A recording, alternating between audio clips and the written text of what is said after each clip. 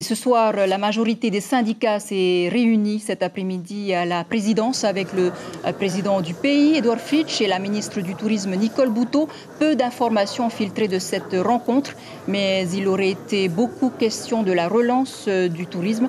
L'occasion pour le président de recueillir les avis de chacun avant le Conseil des ministres de demain. Je propose d'écouter Nicole Bouteau, micro d'Inacio Raveino et Jacques Damour.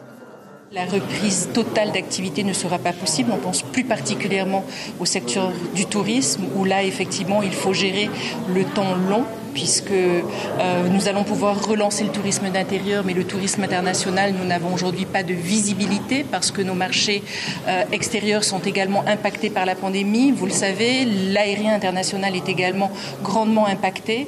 Donc euh, l'idée, c'était effectivement de mettre en place, nous avons mis en place les revenus de solidarité dans le cadre du confinement. Maintenant, il nous faut mettre en place des dispositifs de soutien à l'emploi dans le cadre du déconfinement de la Polynésie pour gérer la crise économique